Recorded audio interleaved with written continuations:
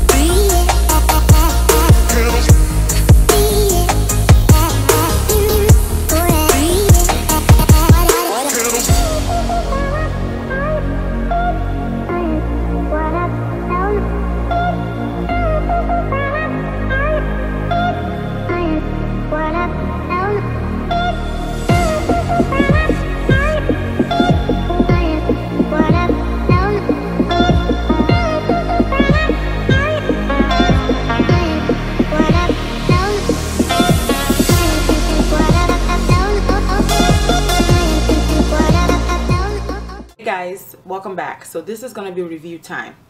And first of all I just want to say that where have I been? Because using a lip brush has just changed my life y'all. Like not just for lipsticks but for liquid lipsticks just to get that great application you know what I'm saying? And if you were wondering in between swatches I used an e.l.f. cleansing cloth best in the game. I've said this five million times. So I was using that in the middle to clean off the um, lipstick so I can you know reuse it to apply and it worked out very very well. I just cleaned it right now and there's nothing on there so it works amazing. So pros pros pros. This brush is life-changing. I feel like I'm gonna use it outside of this palette for my liquid lipsticks lipsticks etc you feel me?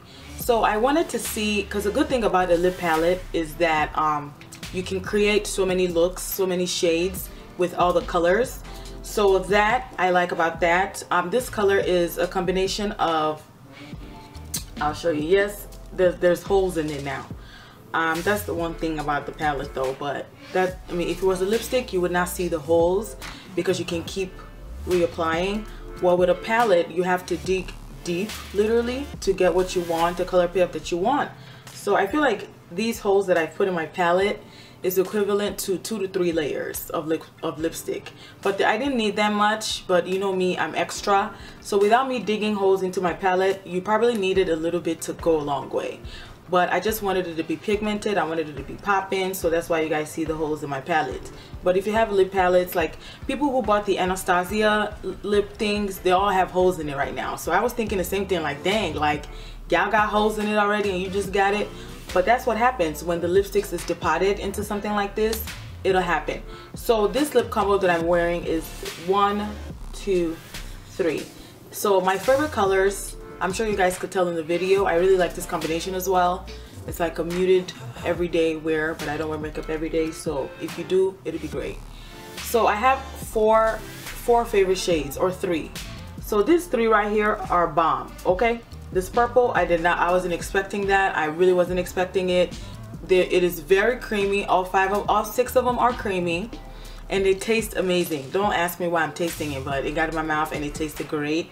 Has, you know, like a lipstick fragrance to it. Nothing too bad, just like a candy, muted candy lipstick fragrance. But these three were life-changing. So these two, uh, especially this peachy one, I needed a lip liner. So I was in, and it was kind of like patchy because a lot of neon colors tend to be like that.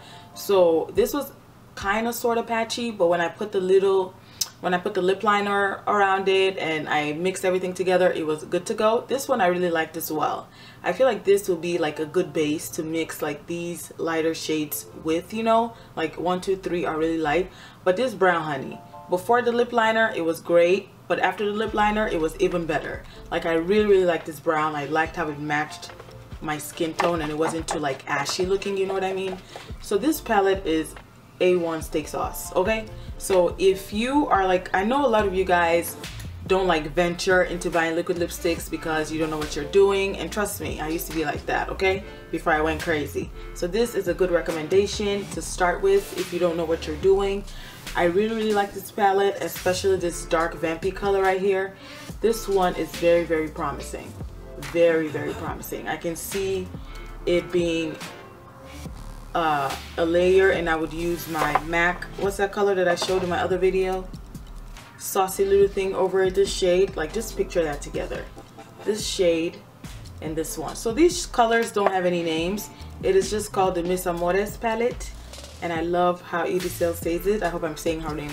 I know her name is Edicel, but people can't say Edicel, so they say Iris. But I'm trying to say it the right way, Edicel. So I really love. Y'all, okay, so for work, I, I have to speak a little bit of Spanish, and I always kick myself because I can't and I have to call the office to get a translator. So I really like Irisel's channel and she also has a, a Spanish speaking channel. Sometimes I watch it and I, I, don't even know what she's saying but I just I just watch it anyways. But yeah, that's just saying. But anyways, this palette, I don't really have anything bad to say except that this color was kind of patchy. Um, the price point was amazing. I believe 16 or $18 and and you get this bag with it. So you're not you're not you can't beat it. So I don't really have anything negative to say about it. Honestly I really thought that some of these colors wouldn't work but they did. They proved me wrong. So thank you so much for making this itty sale and good luck to you. And um yeah that's it for the video. So let me know if you guys got this palette. Um let me know what you guys thought of the colors. I really like the colors and I like that it was blendable buildable you know and I really like this combination that I'm wearing right now. It's kind of hot so thank you guys so much for watching and I'll see y'all in my next video. Bye guys